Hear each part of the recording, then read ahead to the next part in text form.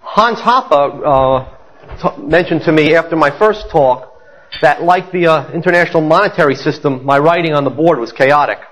So I'll, I'll, I'll try to, uh, to be a little more careful. I'll try to coordinate my writing on the board, just as, as uh, go- world governments claim that they can coordinate their uh, exchange rate policies.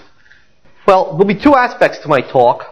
The first will be what is the likely uh, development of, of, the dollar in the, in the next few years? And to understand that, we have to look back at what has occurred in the last uh, 10 or 15 years, back to the early 80s.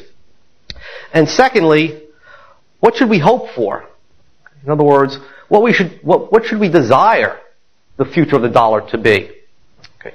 Should we desire it to be something like the Keynesian dream, which uh, every once in a while crops up, this whole idea of, of a global fiat currency, or should we push for the good old-fashioned gold standard? All right, let me start with what um, has occurred with the dollar in, in, the 1980s and the 1990s. And here you'll find that uh, the system has, has um, existed uh, in the current state in the last 15 years because of an obscuring of, of uh, the effects of the Fed's inflation. Okay. Um, Street economists, alone among modern macroeconomists, understand that the effects of increasing the money supply are many more and, and, and, and many uh, and uh, are manifold when um, you compare it to just a rise in, in the price level. In other words, most economists see as the only significant effect of an increase in the money supply a rise in general prices. But Whereas Austrians point out that there are effects in other markets okay, in capital markets and foreign exchange markets. And, and that it's these effects which bring about uh, an instability in the, in the economy.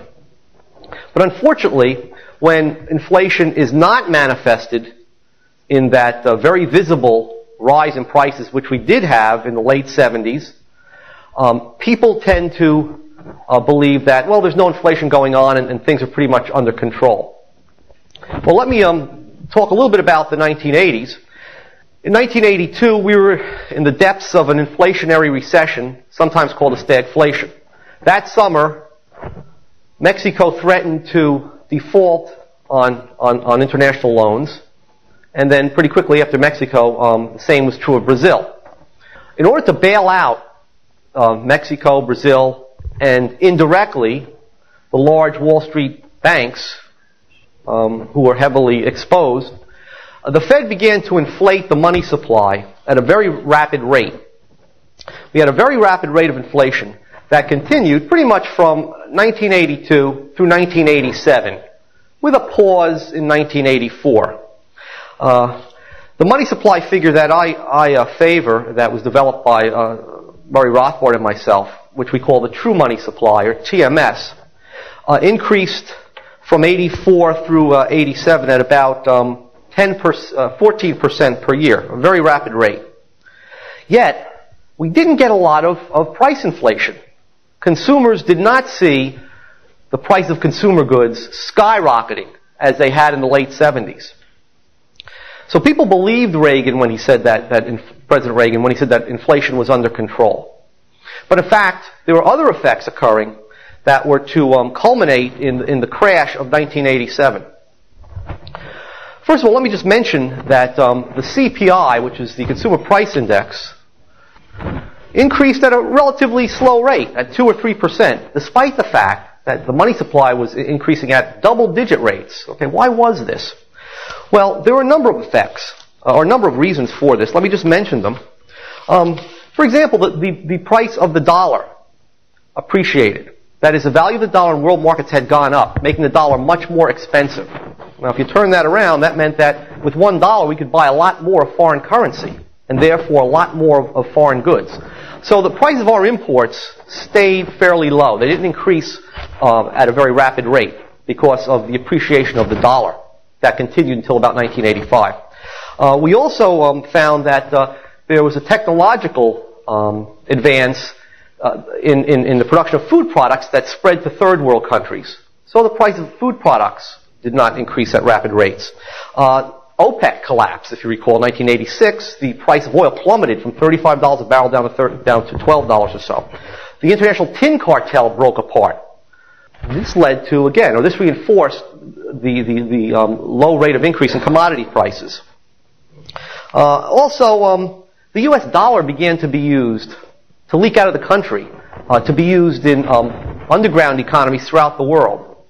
Citizens of Argentina, of Israel, of uh, Eastern European countries were beginning to use the dollar in transactions. So the demand for dollars was going up. Okay? When the demand for a, a currency goes up, um, prices stated in that currency begin to fall. People hold more money. Um, they're not spending it as quickly. So Americans weren't. So, so the, the world in the world economy, dollars were not being spent as quickly because more and more people were holding dollars throughout the world economy. They were also holding dollars in order to buy U.S. securities. Okay, um, Japanese, uh, Western Europeans were investing heavily in, in, in, in U.S. government debt, and in order to do that, they needed dollars. So to make a long story short, prices of goods didn't increase very rapidly in this period. So most economists claim that um, that the Reagan administration had been victorious over um, inflation. Some claim that that would eventually lead to a recession, but but those who supported Reagan claim that uh, this was just another one of his of his victories. But on other markets, we saw the evidence of, of inflation. Uh, for example, capital goods markets. When the, the, Fed increases the money supply, the money the, the, um, they do so by increasing bank reserves. Okay? Out of thin air, they create more money for banks to loan out. As banks increase the, supply of their loans, interest rates drop. When businesses borrow this money at the lower interest rates, they begin to invest in capital goods, and that drives the price of capital goods up. Now, what are firms? Firms that are listed on the stock market are nothing but aggregates of these capital goods. So, the value of, of a firm depends on the value of the capital goods that it owns. As the prices went up, stock of capital goods, stock prices began to go up. Also, remember, the price of a capital good depends on the flow of income from that capital good in the future. Okay? That flow of income is discounted by the interest rate to give you a present value for that capital good. The lower the interest rate, the higher the value of that capital good. So with low interest rates and uh, a greater demand for capital goods, we began to get a stock market boom. So from 19, just give you an example, from 1982 um, to uh, May of 1987, we had an increase of uh, August of 87. We had an increase of, of 214 percent the Standard & Poor's index of 400 industrial stocks, uh, in effect, tripled. So while consumers' goods prices were rising at very low rates, stock prices were tripling. Okay, that should have told people something. All right. Um, we also began to get uh, effects in, in the bond market. That is, interest rates began to decline. Okay, as the banks, with their newly created credit, impinged on, on the um, credit markets, interest rates were pushed down. Uh, for example, um, the 30-day commercial paper rate fell by about uh, uh, three three percent between um, March of '85 and January of 1987. Uh, corporate bonds fell from about 12.5 percent in mid 1985 down to about um, 8 percent in 87, and the prime rate tumbled by about 3 percent during that time. Okay, so we had we saw capital markets were being affected by by the inflation. Okay, something that most people didn't catch. Finally, um, the, the foreign exchange market also was affected by the um, increase in the money supply. Uh, the dollar from 1985 until about 19, May of 1987 lost 77% of its value against, against the, um, the German mark. Okay? In other words, it, used to cost 31 cents in 85 to buy a German market, it now costs in 87, 55 cents. And also in the case of the yen, the dollar lost 75% of its value against the yen. Or to put it another way, the price of the yen increased by about 75%. Okay. Now part of the impetus to this inflation was that in 1985, the value of the dollar had reached a very high level, which meant that American goods were very expensive in foreign countries. And American exporters began to, to lobby hard to get special, uh, to get tariffs and, and, and other types of protection against foreign goods. In order to, to, to, to divert this sort of lobbying, uh, the U.S. government decided to um, coordinate its policies, its foreign exchange policies, with foreign governments. That is to push down the value of the dollar. And there was an agreement called the Plaza Agreement in which uh, the G7, um, that is a group of, of, of, seven industrial nations, Italy, Canada, Great Britain, the U.S., and so on, got together and, and uh, decided upon a, a, concerted effort to drive the value of the dollar down. Right. So, this was another reason for the inflation. By early 1987, however, the dollar was dropping like a, a rock. Okay? And capital flight was threatening. That is, foreign investors began to worry that their investments in the United States, in terms of their own currency, were depreciating rapidly. So once these expectations took place, uh, pa- there was a threat that panic could spread on foreign exchange markets and that the dollar would be dumped. Okay, people would begin selling the dollar off very rapidly in exchange for other goods, which would cause the depreciation to even accelerate. Uh, at which, in which cases, people pulling their, their capital out of the United States, you'd find skyrocketing interest rates.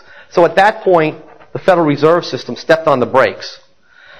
And the money supply began to increase much less rapidly. Uh, then there was a few spurts in, in that spring of, of um, inflation.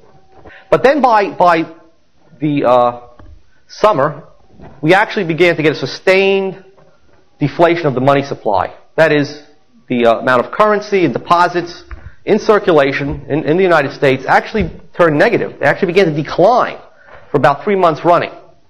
Uh, by June, the bond market began to believe that the Fed was serious about the policy of, of, of restraining uh, inflation. So we began to get interest rates creeping up uh, from uh, June through um, August and then onward to October. Uh, for example, the AAA bond rate rose from about 8.5% in five months all the way up to uh, about 10 and three quarters percent. And the prime rate went from 7.5% up to about 9 and a quarter percent. Now what this meant was that suddenly there was a, a, a, a, much higher rate of return on bonds than there was on stocks. The stock market continued to go to, to, um, to, to, to move upward, okay, until about August. In August, the stock market began to believe that the Fed was serious about its uh, um, disinflationary policy. At that point, the stock market peaked.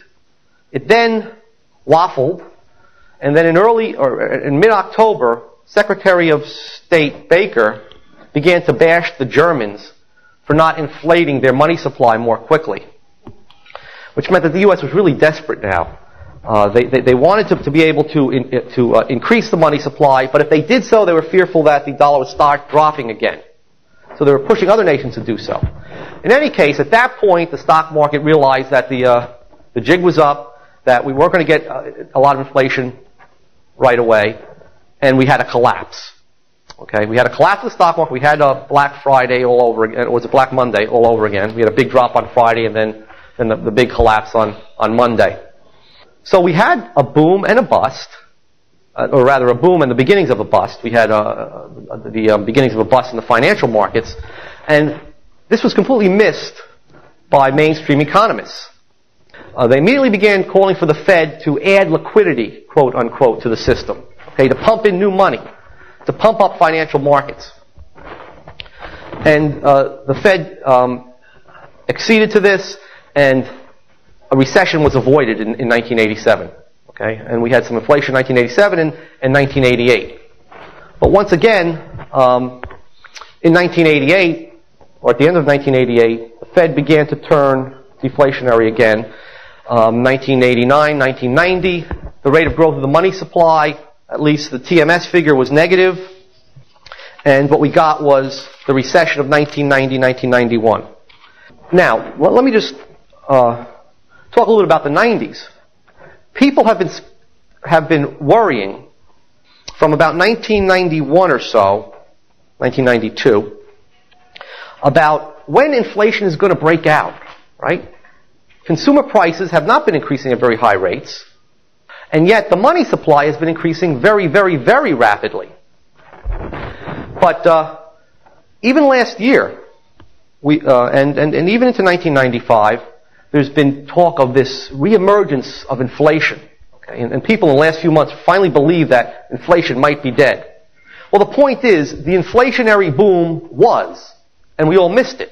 The inflationary boom, or the uh, mainstream economists missed it. The inflationary boom of the 1990s occurred uh, from 91 through 93. Just to give you an example, the money supply uh, increased uh, at 10% per year in 1991, at 12%, uh, uh, almost 13% per year in 92, and about 7% in 1993. Very rapid rates of inflation for various reasons, again having to do with the good sides of the, the good side of the economy, what's happening to the prices of various goods on the world markets. We didn't see this in, in, in the form of um, rapid rates of increase in the consumer price index. However, we did see a rapid decline in interest rates. Even long-term rates came down over that period. So we, uh, we, also saw a stock market boom during that period. And we saw uh, the um, U.S. dollar collapsing during that period. So inflation reared its head again in real estate markets, stock markets, bond markets, and so on. But it was conspicuously absent from the consumer goods markets, which is what, again, um, most mainstream macroeconomists focus on. Now, in 1994, the rate of growth of the money supply was actually negative. Okay? Whether you look at M1 or um, or TMS, which I prefer, which is a much broader measure of the money supply. It includes currency, includes demand deposits, um, it includes um, savings deposits, uh, it includes savings bonds, and a few other elements. And in 1995, the first half of 1995, um, the first six months, uh, M1 has, has shrunk by about uh, near 1%, and um, the TMS figure has shrunk by about 4.5%. So, from the perspective of Austrian economics, um, we would expect, if this policy isn't reversed, a recession, not an inflation. There might be some catching up of prices because of the rapid rate of increase of, of the money supply uh, in the early 90s. But we can expect um, recession to take hold if the Fed doesn't reverse its policy. And that's very open-ended, and I'm, I'm not trying to predict. But um, the point is that we do begin, we have begun to see uh, various elements of, of, of, recession hitting in the auto industry and in other industries. So the future of the dollar depends, as we should have learned by now, on what the Fed is going to do. Okay? On how enthusiastically Alan Greenspan is going to support President Clinton's uh, campaign for reelection. President Clinton, or uh, as any incumbent president would, wants a monetary policy that's going to um, make sure that there is prosperity going into the election. Certainly in the last year before the election, you want a prosperous economy to be able to point to. So what's going to happen to the dollar depends on, on Alan Greenspan. Okay, it's, a, it's a Greenspan standard. Now, what should we hope for? What, what should we want? Should we uh, accede to this uh, system in which uh, the actions of a, a, a, few men and women who are not accountable to Congress uh, determines the value of our money? And not just the value in terms of the price level, but what happens in all of our markets real estate, um, bond markets, stock markets, and so on. The enormous power exercised by the Fed is the essence of, of the Fed's function. In other words, the essence of the Fed is, is to create inflation. Okay? You have to keep in mind the fact that the Fed does not fight inflation. It's absurd when they claim that, uh, well, certain governors of the Fed are inflation hawks. Okay, they, they, uh, they rabidly oppose inflation. Okay, that's nonsense. Okay, the Fed is the source of inflation in today's, uh, in, in at least the, today's American economy. Okay, the Fed and no one else can create inflation. Now, the monetarists would ask the Fed to use its, to use its power wisely, prudently, to increase the money supply at relatively low rates so that prices remain fairly stable. Even if the Fed listened to this counsel, uh, that would, sti- would still not um, bring about uh, an optimal uh, or, or the, an efficient operation of our economy. Because the Fed's actions, as, as I pointed out, have effects in other markets. Okay? No matter how slowly the rate of increase in the money supply, when the Fed increases bank reserves, which then allows banks to increase their, their loans, they inevitably pushed, or it, it, it inevitably brings about a fall in interest rates. And that fall in interest rates stimulates businesses to invest in areas where they would not have at true free market interest rates. Interest rates that reflect, reflected people's savings preferences. So you're going to still have this sort of sub- instability in the economy. Okay? Whether or not the, the, the monetarist um, advice is followed. And it's very unlikely that it will be followed. There will always be a reason to depart from this rule of um, increasing the money supply at low rates. Uh, that is, uh, for example, bailing out Mexico, uh, as we did, in, uh, as, Lew, as Lew Rockwell pointed out. That, that, that, results in an increase in, in, the U.S. money supply. It's an emergency situation. There will be pressure on the Fed to uh, um, engage in this sort of activity to prevent the failure of, of U.S. banks. So they would depart from the rule very naturally.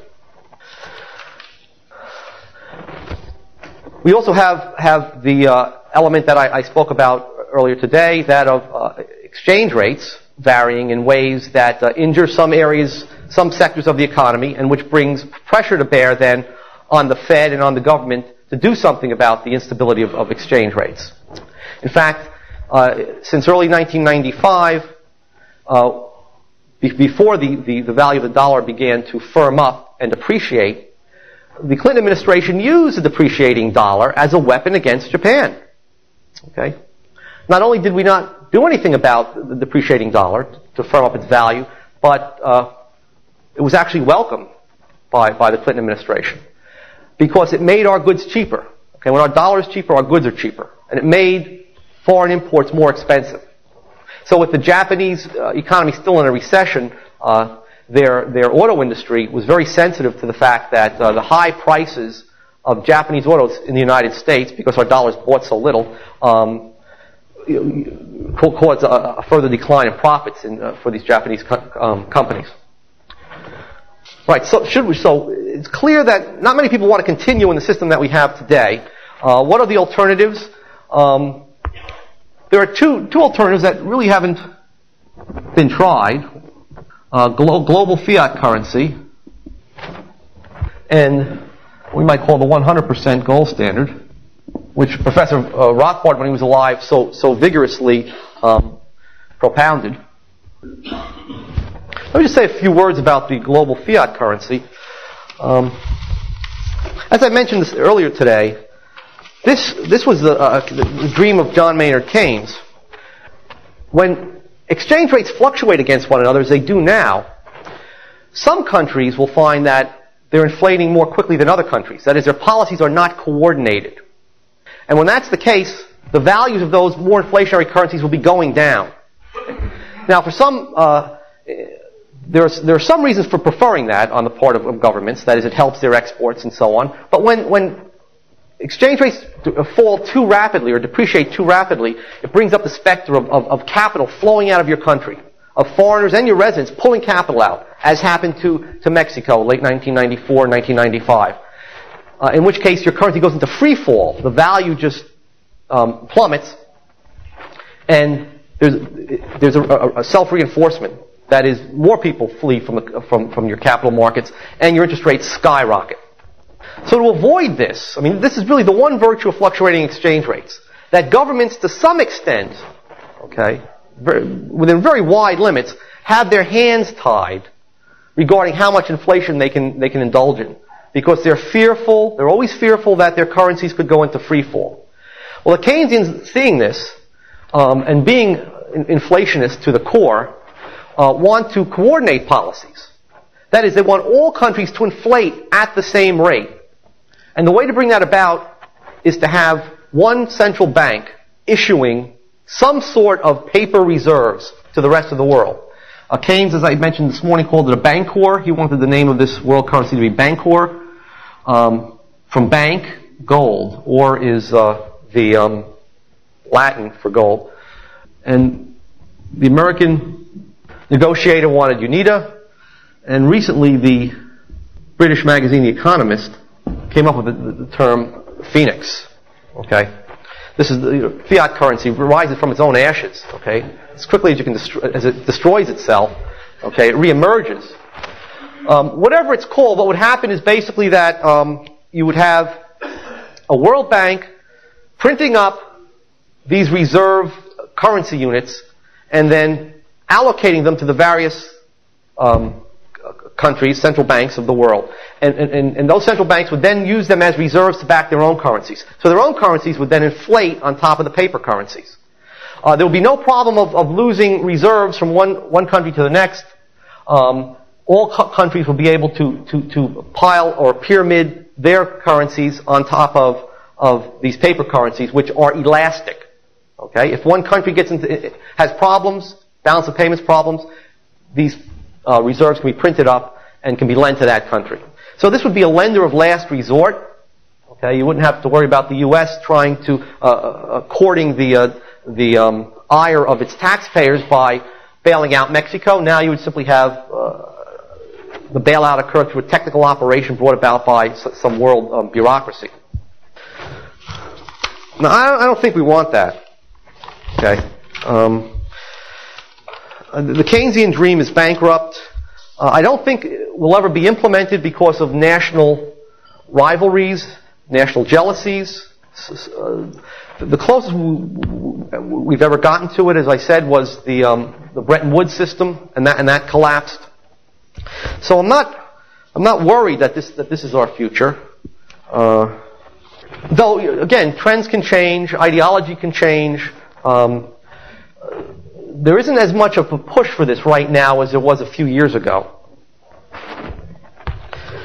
But what, the, what, what about the other solution? Okay, this is, uh, this is what I would consider to be a utopian solution. But in some sense, I know this is an oxymoron, a practical utopian solution.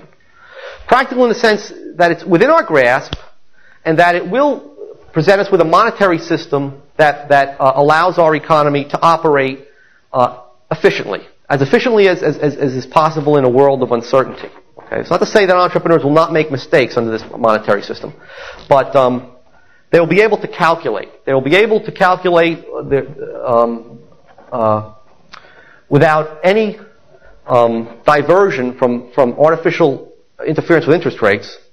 Uh, they'll be able to calculate their revenues and their costs. Okay. So production will be efficient in that sense.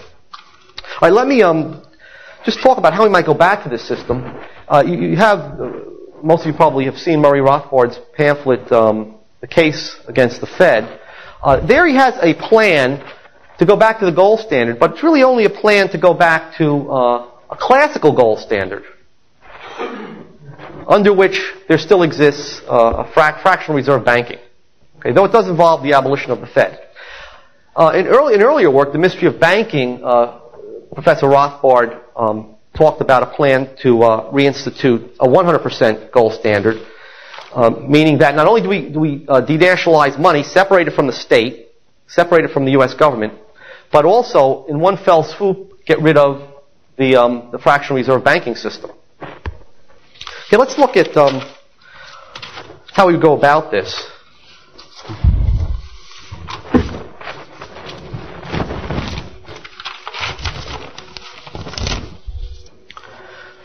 Right now, there is approximately 260 million ounces of gold that is owned by the Fed. It's held by the Treasury, but it's, it's owned by the Fed. Actually, most of it is not in Fort Knox. Most of it is, is actually, um, I'm sorry, million ounces, not dollars. Most of it's in the New York Federal Reserve Bank. Now, if we take a definition of the money supply, that includes currency, that is the paper Fed notes that we all use, plus demand deposits, that is our checking accounts at regular commercial banks, plus other checkable deposits, that is checking accounts at savings and loans and so on. We find that there's approximately $1.134 trillion in this definition of the money supply. Now, if we were to, to, continue to value gold at its old official price of $42, which is what it's on the books for now, that would give us nowhere near a value of gold that was sufficient to back up all currency and, and checkable deposits. But we don't have to be stuck with this. We don't have to feel that we're, we're tied into this, uh, this value of gold, this price of gold. Okay. It's arbitrary. Okay. If it ever meant anything in the past, the government has inflated the money supply so much that that, the, this historical price of gold is, is simply irrelevant to, to today's circumstances. So the first step that um, uh, Murray Rothbard counsels is to revalue this 260 million ounces so that its total value in dollar terms is exactly equal to the liabilities of, of, of the banking system and plus currency. Okay? The demand deposits and the, um, the checkable deposits are liabilities of, of the banking system. Okay? They're backed up uh, by 10% reserves, approximately. Yeah. Right.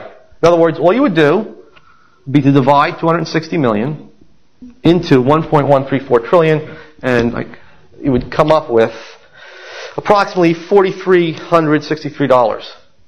Now let's avoid the transition. Let me just abstract the transition problems for a moment. It is per ounce. Um, let, us just let's just step back for a moment. Preliminary to doing this, you would want the, to, the Fed to stop increasing the money supply. Okay, to do that, you would um, restrict the Fed from ever again purchasing any government securities. The Fed increases the money supply by by printing up reserves and, and purchasing government securities with them. Okay, basically by writing a check on itself and buying government bonds um, from from uh, bond dealers or, or, or from uh, the banks.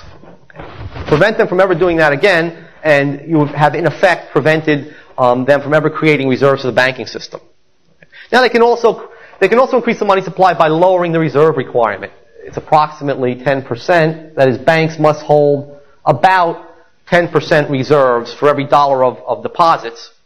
Um, which means, again, I don't want to get into the technical end of it. It means that that the banking system can, uh, for every dollar of new reserves created by the Fed, it can create 10 new dollars of checking account money. You can prevent, you can freeze the reserve requirements, and finally, the Fed can also lend money to the banks through uh, discounting or discount operations. Uh, what you can do is you can make that unprofitable by raising the discount rate above the market rate, above the prime rate. Okay, make it a penalty rate as it, as it was originally conceived to be. In which case, you would basically freeze what we call the monetary base, the amount of, of bank reserves in the system plus the amount of currency. And you would effectively then freeze um, M1. Now, the, the Fed has um, a lot of assets. Uh, the biggest um, component of which is all the government bonds that it owns, and which you and I have to pay interest on. Okay, what happens to that interest? The interest that the Fed earns on those bonds, which is purchased by by, by simply writing checks on itself, creating reserves out of thin air, uh, that money goes to um, fund the cushy salaries of the Fed bureaucrats, um, and and and and and uh, to, um, to to fund their uh, their very plush um, plant the rest goes to the, the U.S. Treasury. We can just cancel those bonds. Just get rid of it. Get rid of them. Okay? Just, just write them off. Okay? And we can then proceed to liquidate the Fed. Okay? That is, the Fed would then have to distribute the gold for, for the reserves that are held by the banking system and, and, and in exchange for currency. So the Fed notes would all be turned in um, for, at the rate of one 4,360 uh, third uh, um, ounce per dollar. Uh, 400, basically one fourth, 43 hundredth ounce per dollar. Then people would have, then we would have disgorged the gold. People will have gold in their hands. Okay.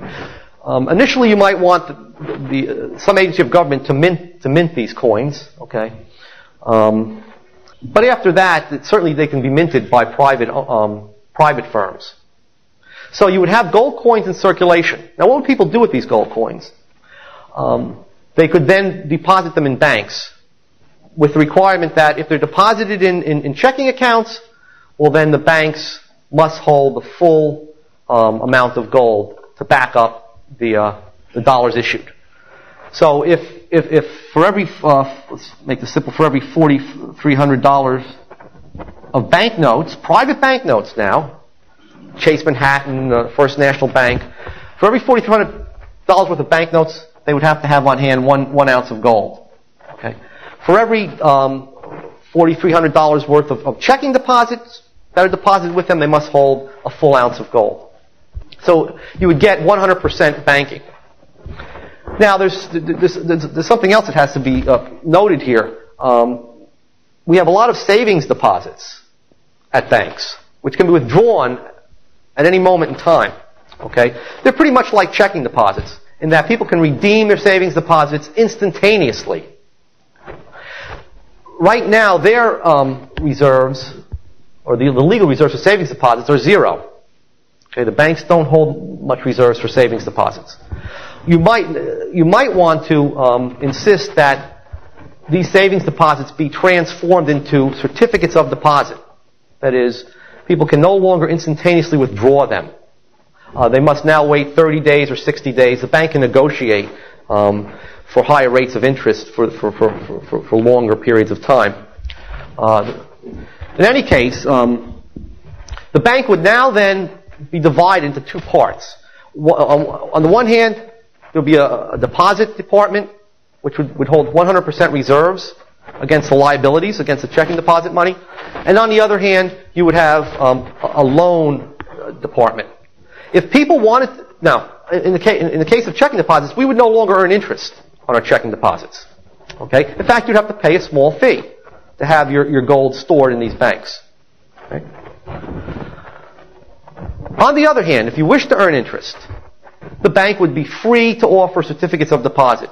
It would be free to accept um, your deposits for periods of 30 days, 60 days, two years, five years, um, with the, the um, explicit contractual obligation that they will redeem them only at maturity. Okay? So then, based on, on, on this um, uh, time profile of certificates of deposit, they could make loans of longer or shorter duration. And now this would not be inflationary. In other words, if you were to, to um, purchase a certificate of deposit for, for a full year from a bank, a one-year certificate of deposit, uh, the money that you invested would no longer be ready, would no longer be accessible to you at all. Okay? The money would be transferred from your cash balance, from your money holdings, to the money holdings of, of, of, of the business firm that borrowed that money. In other words, these transactions would no, no longer have an effect on the interest rate. They would not drive the interest rate down. Certificates of deposits would, would, would um, express people's true preferences for saving.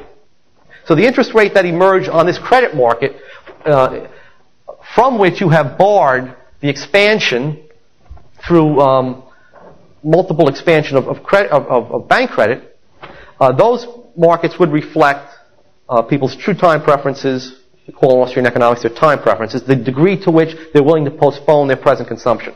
And the interest rate would then be a genuine interest rate.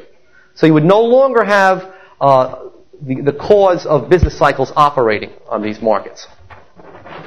Also, banks or, and other institutions would be, would be free to offer money market mutual funds. People who want uh, more liquid investments than certificates of deposit might wish to invest their saved funds, or, or a portion of their saved funds, in money market mutual funds. Uh, money market mutual funds are typically invested by the fund manager in um, short-term, high-grade corporate uh, corporate um, debt, such as um, commercial paper, in uh, short-term government um, securities, and so on. Now, during the, the, the, the chaos of the 1980s, not one money market mutual fund went bankrupt. And yet, they, they were not insured. Well, why was that? Well, it was, it was be, precisely because they were not insured. Without insurance, they were very, very careful about where they were investing. Okay, they didn't take large risks for um, high returns. Um, customers didn't see the FDIC sign and therefore didn't blindly trust these institutions. Okay, they read the prospectus and uh, they were very careful about, uh, about about choosing money market mutual funds. Um, in the last few years, there have been one or two, or maybe even more, a handful of money market mutual funds that um, that were unable to pay out the full uh, investments of their shareholders. But the fund managers bailed them out. In other words, they were privately bailed out by the funds themselves. A money market mutual fund does not guarantee you, by the way, uh, that that that uh, your principal will be paid back. Okay. In other words, unlike a bank deposit, it's not a right, when you buy a money market mutual fund share, you do not own a right to a fixed amount of currency.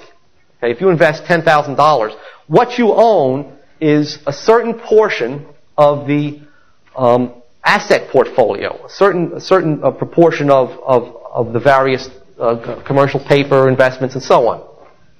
So that if they lose money, then that is reflected in, in your interest return and possibly in your principal. One firm, um, money market mutual fund, uh, that was liquidated, the only one I know that, that didn't pay off the full $1 on its shares, paid off something like 94 cents, something like that.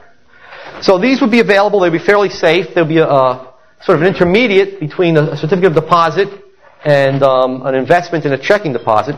And they would also um, serve to transfer savings from consumers, consumer savers, to um, business firms.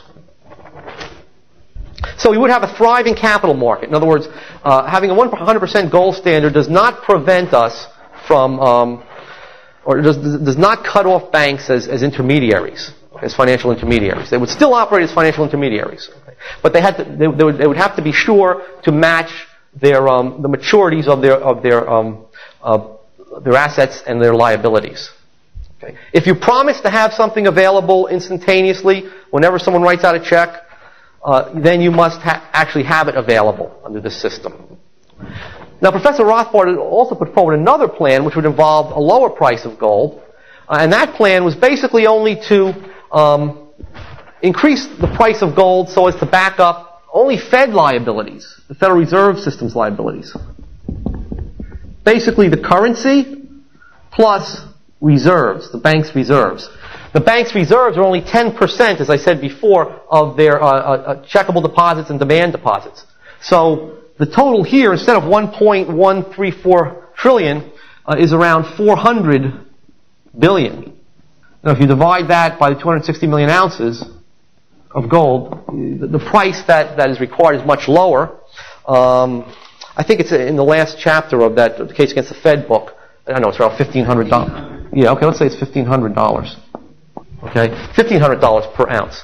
But then you'll be left with a system in which, um, and I can't believe that he would be serious about this, or, or wouldn't see that um, uh, people would now notice that that, that the Fed w- was no longer a lender of last resort.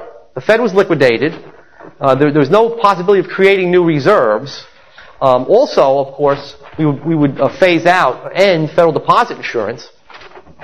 So um, I would see bank runs occurring in this system pretty quickly. In other words, the amount of gold would be a 400 billion, and uh, the amount of, of um, instantaneously redeemable uh, liabilities of the banking system are up here around over a trillion. Uh, and it would turn out that uh, you know any sort of uh, an initial shock to the system could very well result, result in a panic that brings about um, a collapse of the system.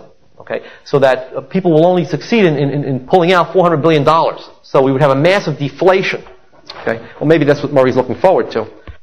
Enormously high price of gold, uh, given current economic uh, uh, relations, and what would happen would be that um, we would get a once and for all inflation of our money supply. Okay, as all gold was drawn to the United States. Okay, unless other countries also tied on. But as gold, as people rushed think about it, on the market, gold, they can only get $350 for gold, right? That's the market price. Okay, now if you bring it to the U.S. banking system, you can get $4,000, whatever it is. Okay. The gold's going to flow into, the, yes, right. Um, I'm not, I, I don't really care about, I, I don't care if there's a once and for all inflation like that. It doesn't occur through the credit markets. It doesn't, it doesn't, um, uh, uh, distort the interest rate. Um, it's, it's, if, inflation ever could be benign, this would be the most benign. Yeah, that's true. I'm, I'm not denying any of that. Yes. Yeah, it's going to go, it, it, it could very well go way up. But what I think is that if, as the U.S. progresses towards this system, I think other countries will tie on, the demand for gold will increase, and um, so the, price, the market price will begin to rise uh, towards this price. Um, there's still a lot of thought still has to be devoted to a, some sort of transition plan.